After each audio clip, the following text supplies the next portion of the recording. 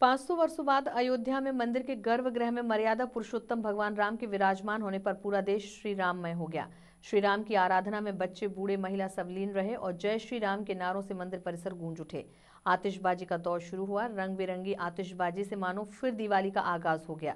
श्री राम प्राण प्रतिष्ठा की पूर्व संध्या पर सर्व ब्राह्मण समाज व अन्य समाज के श्री राम भक्तों ने भव्य शोभा यात्रा निकाली।